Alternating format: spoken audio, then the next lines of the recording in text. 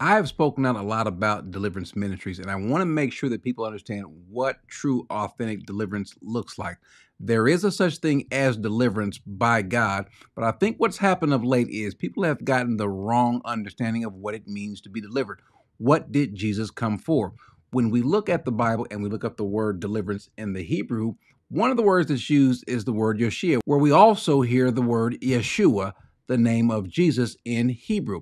Also, in Greek, when we see the term deliverance in the New Testament, the Greek word for deliverance is the Greek word for soterion, which is salvation, to be saved.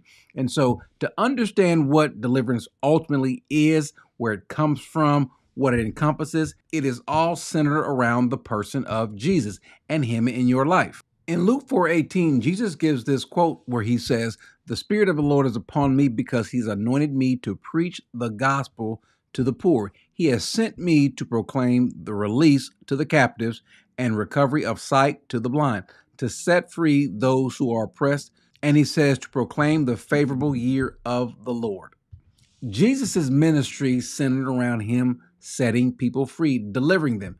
But it was not just in really one capacity. He came to set us free totally. Jesus says, So if the Son has set you free, then you are free indeed.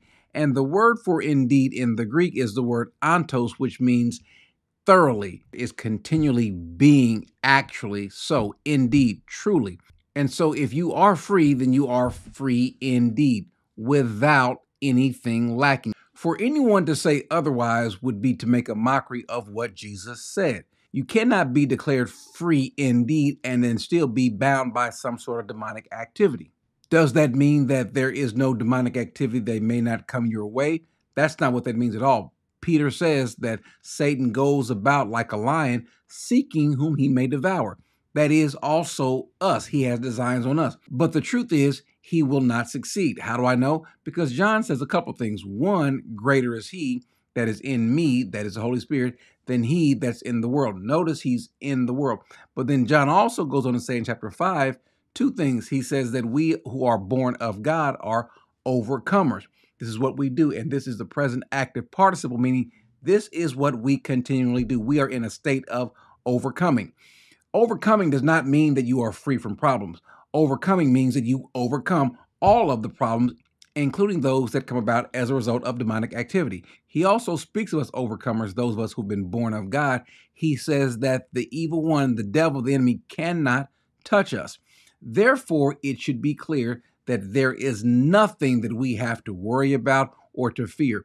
Do not let people tell you that you can be bound or enslaved. There are those that even want to play semantical games with the word in the Greek that gives us this term for possession.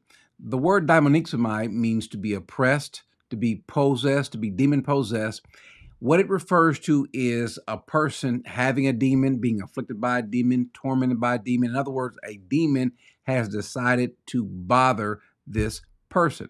Sometimes it shows up physically, sometimes it just shows up in them internally, mentally, and emotionally which is why we have the term possessed. There is no difference in the Greek, and you do not find any Greek lexicons or grammars that would state otherwise. Do not listen to people who say that there is a difference that will say that you cannot be possessed, but you can be demonized, you can be oppressed. Not a Christian. Again, that would nullify us being overcomers. That would nullify John saying that he can touch us. That would nullify Jesus saying that we have been freed indeed. Now, someone's going to say, Corey, but it sounds like you are denying the power of God and also naively denying that there are demonic influences. Well, no, as a matter of fact, I lean heavily on the power of the Holy Spirit. See, it is my testimony personally of God's deliverance, how I was delivered even before I knew Him. When I was born, drugs in my system almost died the night that I was born. And it didn't get that much better thereafter. My father sold drugs, my mother used drugs we knew how to not only deliver drugs, seeing them cooking, cocaine, all these different things that we grew up, we thought it was normal. Moving from place to place to place to place. Someone asked me, How many times have you been shot at? You mean by strangers? Well, not counting my mother, twice. We have had an actual hit put out on us to where we had to move from one house to another part of the city, then ultimately moving out of town. Even after moving in with my father and going to high school, things seemed to be kind of turning around. But after that, I found myself being homeless, but God delivered me from that as well. I am in the faith, I'm growing in Him, I'm learning. And then some of you also know of my own actions that caused me to go to prison wasn't some sort of demon.